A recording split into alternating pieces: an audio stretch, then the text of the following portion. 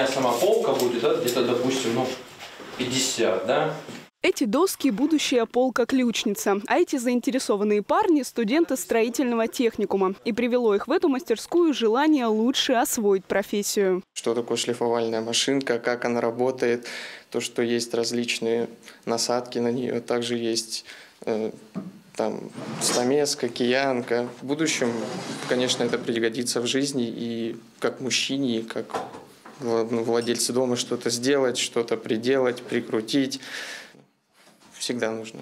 Собрал всех в этой мастерской Михаил Кузьменко, настоятель храма в Кочубеевском округе, а по совместительству плотник и руководитель столярной мастерской. Социальный проект Михаилу удалось реализовать благодаря поддержке фонда президентских грантов. Закупили оборудование, нашли помещение и начали работу. Я считаю, что все хорошие дела, они начинаются где-то, вот, может быть, с каких-то кулуарных мест, поэтому я думаю, что у нас еще все впереди. Ну, вот практически полгода уже живет проект, и мы понимаем, что мы только в начале пути.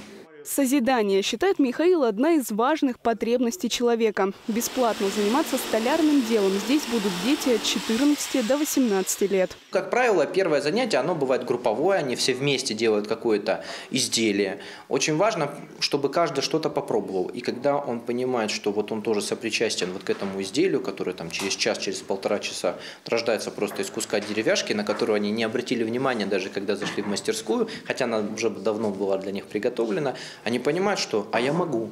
Без дела в мастерской никто не остается. Так что и для меня нашлось применение. Сначала так называемая пыльная комната. Здесь орудуют пилой, лобзиками и другими пыльными инструментами. Все тщательно замеряем, а теперь отрезаем нужные детали. Итак, в моих руках впервые торцовочная пила.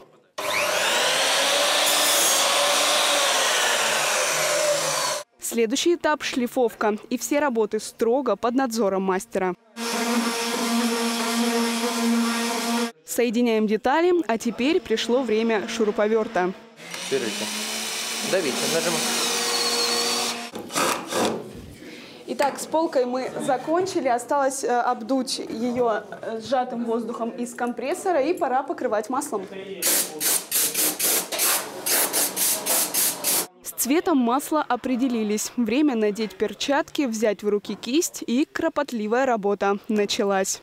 Итак, я закончила, и вот спустя 40 минут из простой деревяшки у меня получилась настоящая полка, первая в моей жизни, сделанная собственными руками, и, честно говоря, я горжусь.